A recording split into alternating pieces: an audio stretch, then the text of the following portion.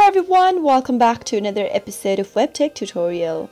In today's video, I'm gonna help you learn how to delete a board on Pinterest. In order to learn how, keep watching the video till the end without skipping and don't forget to subscribe to our channel by hitting the subscribe button. Press the bell icon so that you'll never miss another update from us. If you're done using a board for now and you want to delete the board from your profile, then follow the steps. Start by tapping open your Pinterest application from your app drawer and sign into your account if necessary.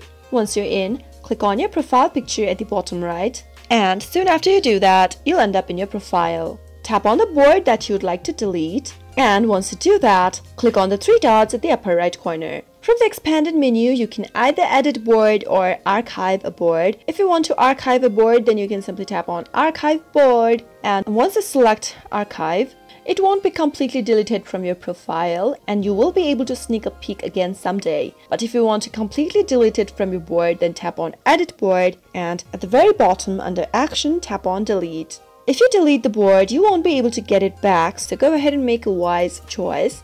Once you're sure you want to delete the board, tap on delete.